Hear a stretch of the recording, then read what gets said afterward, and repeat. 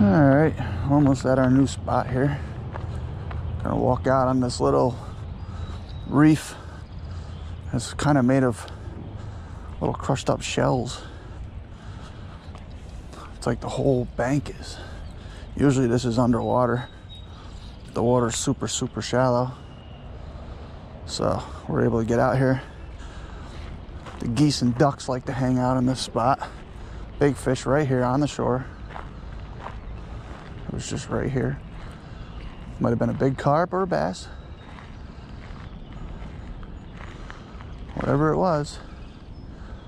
Looks like it was eating them little fish. They actually look like baby bass. I don't know if you guys can see them. Those little tiny black, little tiny black eyes. Oh, there they go. So it looks like there was something hanging out here. Can't tell if it was a carp or a bass, but whatever it was, I spooked it and it took off. But we'll see if we can get them in on this. But yeah, this is uh, made out of like these shells.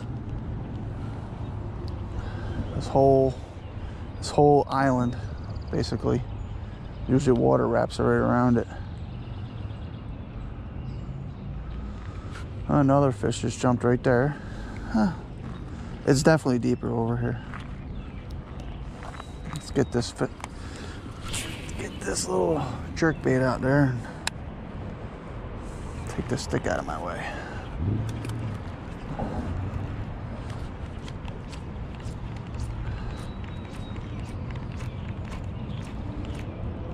There's one right there.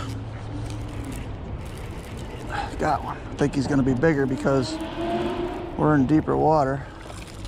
Eh, it's not too much bigger.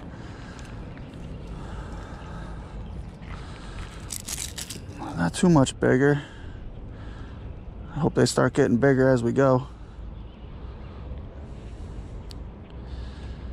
Let's try to get that one out first. Give us a little room to get this one out. This one's kind of stuck near his fin, so we'll get it. We'll get it out of him.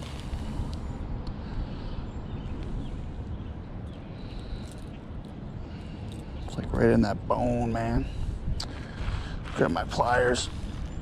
I don't want to rip his fin. He needs that thing to swim around. Try to get these little guys back as safely as I can here. Might have to let him get himself off, see what he does. There, there he goes. Come here, little fella. Oh, look at that. He's making his way right back. I'll give him a little scoop. There he goes. Go on. Safe and sound.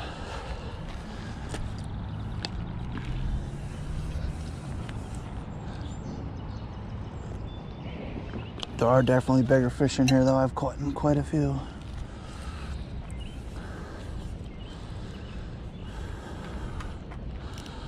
Let's put this slack back on. All right let's get out there.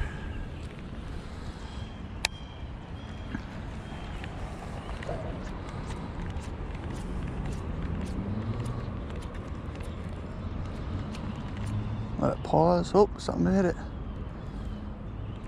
as soon as I pause it, it's probably a little guy.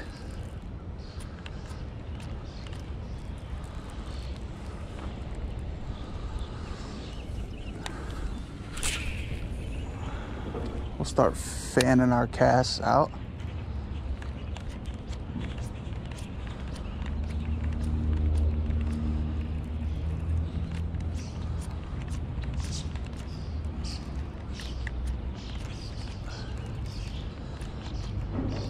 Uh, where's our slack at? Pretty good. Our drag. I mean, for being a light lure. Oh. That was as soon as I hit. This is a good one, guys. This is actually a good size here.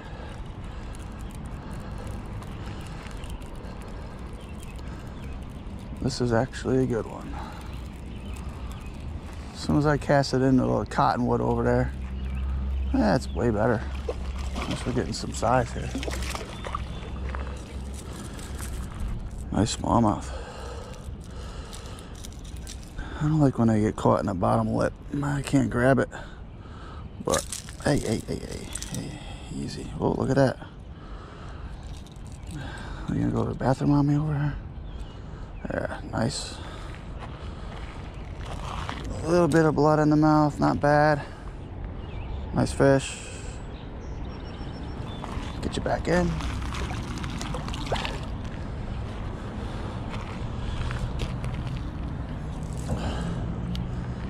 I had a viewer comment that I needed to get the fish back in earlier.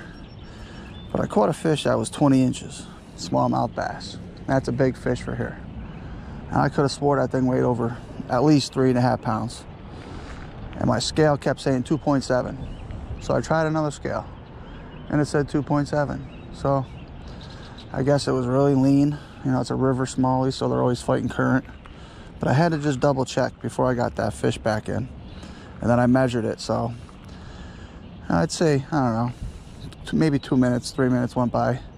Put the fish back in, got a good release, but the viewer was a little upset with the time, so trying to get these fish back in faster. Uh, my bait's a little messed up. There we go.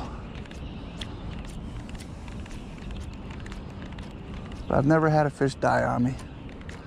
I don't want them to die, obviously. I release them. If I see them hurt too, too bad, I might actually keep one if it's big enough, but every fish I've caught was released without being hurt.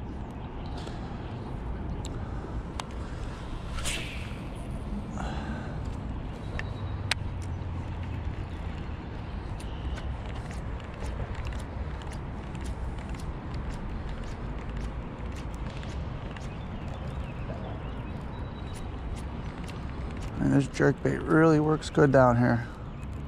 Puts a lot of flash.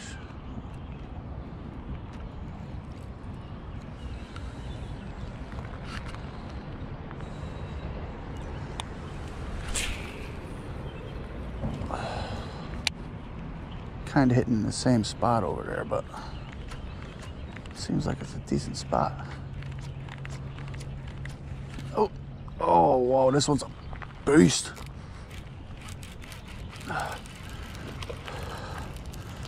Ah, maybe I just hooked it weird. Oh yeah, hooked it right near the butt. I don't count this as a catch. It's funny though, how you hook them weird and, oh, she got something over there. Look at the size of that, huh? We got a channel, channel cat. A bass? That's a big bass, babe. nice. Let's get this little guy off here get him on his way. Get some pictures of my wife's over there. Man, this little guy's really caught down in here. There he goes. Whoop, come on. I'm gonna run over here. You got a scale? We'll weigh that thing. We'll hurry up and get her bass back in so we don't get people all mad at us. She's got a good size, so definitely want to weigh it, measure it, because this is her biggest fish. I don't know where my, uh, oh, there it is. Wow, that's a great, you got a largemouth out of here. I know. That's what I wow, that's a largemouth. We're gonna get a, I don't see too many largemouths in here, that's for sure. Oops, let's go to portrait. Right there, little smile. Beautiful. We'll get a little measurement on it here. It's just barely hooked. Well, when you might have to lay it down, but I'm judging by the way the bottom lip is to the fin. Almost 18. Yeah, almost 18. You will, you will. Right here, wait. Just want to get a nice weight on that. It's probably a two pounder. Just had a. Oh, I can't get it here. Let me try to gill. Hold it, hold it good. There we go. Let's see, what do we got? Two pound, baby. All right. Let me release it. You got it? I, I don't want this in the gill, though. There, I don't want that in the gill. There we go, we're good. And this is a good release. Look at that. I rarely see largemouth in here. So to me, that's